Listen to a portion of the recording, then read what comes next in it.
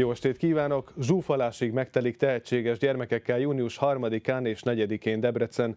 Idén ugyanis a Civisváros ad otthont a 25. Vörös Sándor Országos Gyermekszínjátszó Fesztivál döntőjének.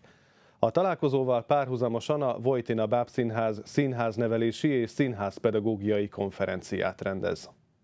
Immár hetedik alkalommal ad otthon Debrecen városa a Vörös Sándor Országos Gyermekszínjátszó Fesztivál döntőjének.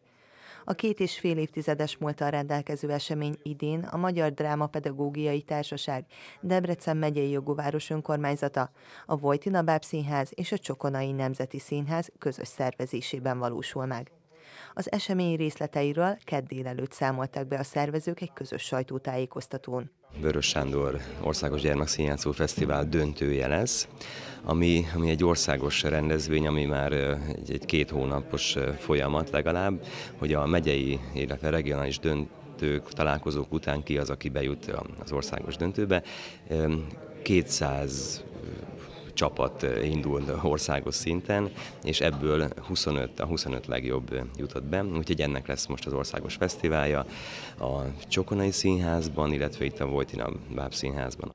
Ebben az évben a 20 hazai csoport mellett 5 határon túli társulat képviseli a Felvidék, Erdély, Muravidék és a Vajdaság gyermekszínjátszóit. A fiatalok műfai és tematikai megkötés nélkül mutathatják be 15-20 perces produkciójukat.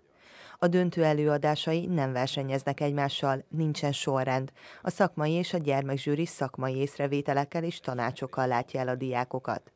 A rendezvény legfontosabb célja, hogy a gyermekek számára színházi környezetben széles közönség előtt bemutatkozási lehetőséget biztosítson, és olyan élménnyel ruházza fel a fiatalokat, amelyel felnőtt korukban a színház értőnézőivé válhatnak.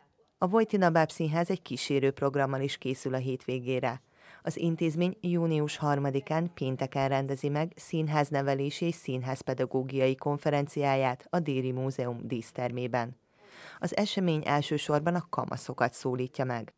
A cél az, hogy egy értékközpontú, erőszakmentes és toleráns társadalmat építsen, és ez az az érzékeny korosztály, akit ezekkel a témákkal, kortárs témákkal elsősorban megcéloznak ezek a színházi nevelési programok. Ezen a pénteki napon tehát négy színházi nevelési előadásnak a prezentációja lesz, a fiatal közönség az Ablak, a Verona 1301, a Lomtalanítás és a Trója című produkciókat tekintheti meg. A Színjátszó Fesztivál és a Színháznevelési Konferencia pontos programjairól, helyszíneiről és időpontjairól a dráma.hu, illetve a vojtinabábszínház.hu internetes oldalakon tájékozódhatnak.